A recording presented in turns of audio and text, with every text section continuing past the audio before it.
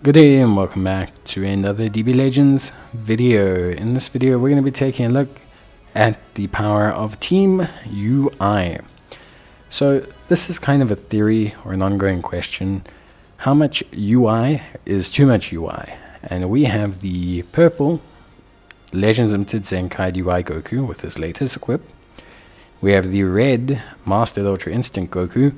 And we have the yellow Ultra Instinct Goku. Now, let's see just how good a team full of the UI mechanic will be. Now just remember the red Mastered Ultra Instinct Goku does have an augmented variant of the mechanic.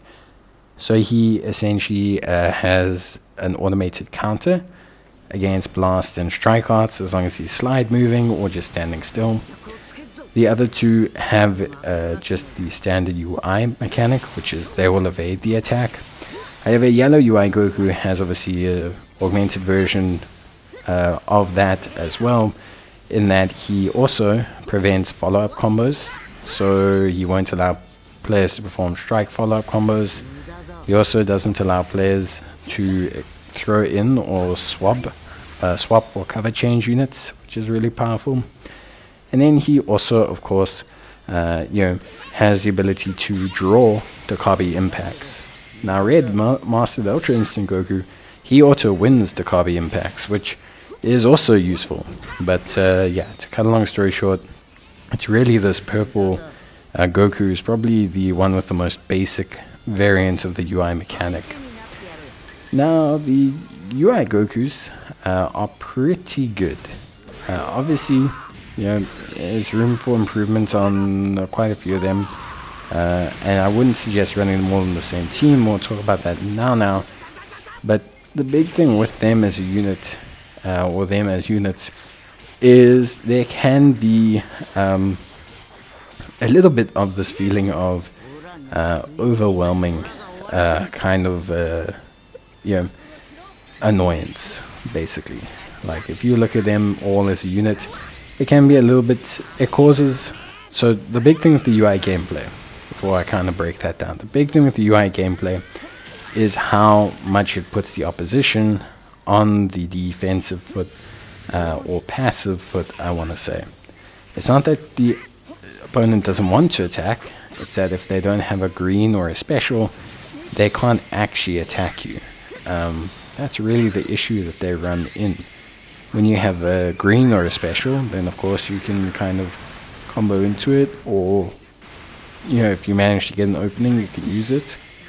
But aside from that, you essentially have to wait for your opponent to make the first move to be able to get off your Ki Blast and your strike arts.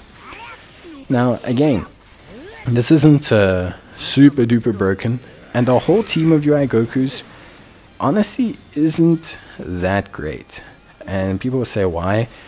The thing with team and like team building in Legends is when you have three units, especially like this, you don't give the opposition like variation.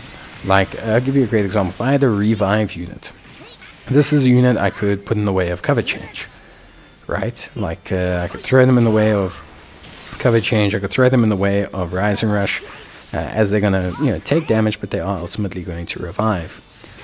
With the UI Goku team, unless you have the green Legends of the UI Goku, uh, you don't have that kind of utility.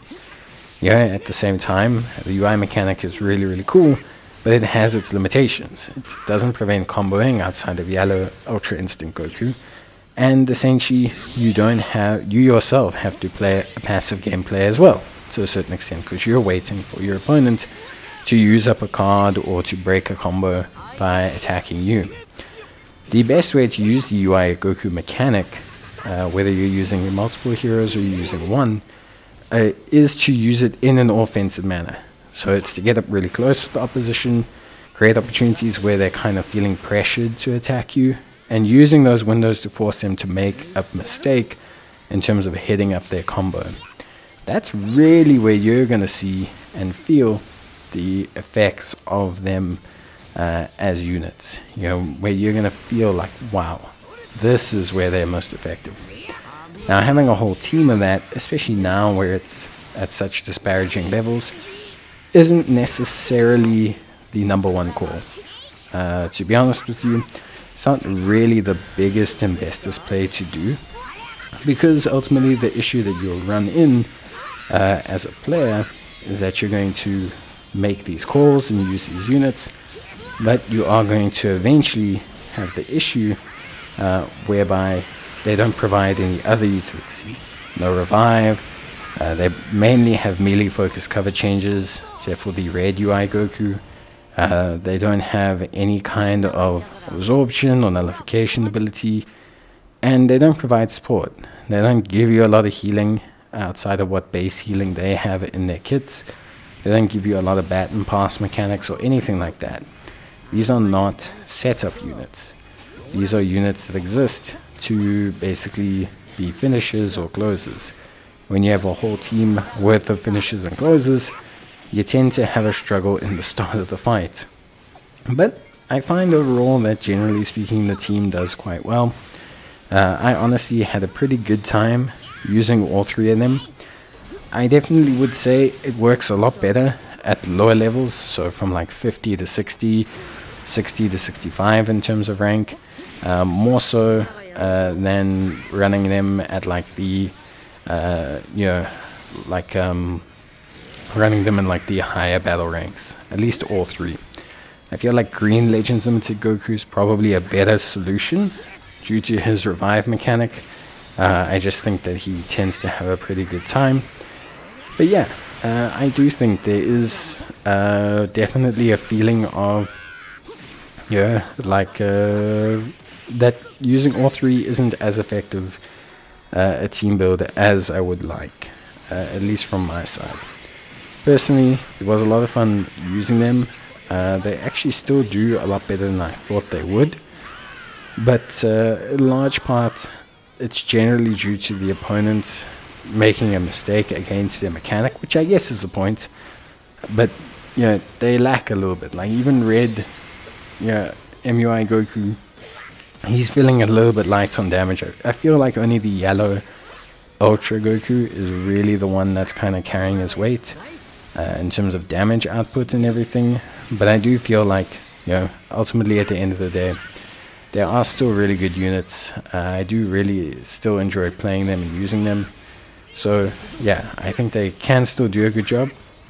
I just think that you do have to, you know, almost kind of like accept um, that maybe running all three isn't so effective. At least ultimately that's what I think. But yeah, I had a pretty good time using them. Uh, I had a pretty solid uh, kind of run with them. I enjoy running this team. It's just not necessarily one I would suggest players use if they're not fully maxed up on the mechanics. But yeah, that's uh, pretty much it from me. I hope you guys enjoyed the video. We're going to get a forfeit here, and we'll end on that note. But that's going to be it for me. Thanks for watching, and I'll see you guys in the next one. Till then, let me know what you think about the full UI team and what you think of the UI mechanic in general. Bye.